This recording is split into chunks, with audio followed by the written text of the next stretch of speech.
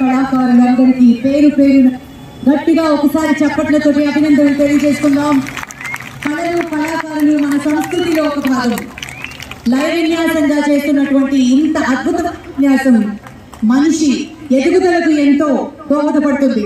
ఇంత చక్కటి పర్ఫార్మెన్స్ చేసినటువంటి బృందాలని సత్కరిస్తారు గౌరవనీయులు మంత్రి గారు దీన్ని కొరియోగ్రాఫ్ చేసినటువంటి